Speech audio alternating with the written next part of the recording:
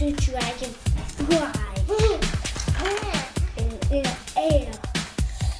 Does he try and eat Steve?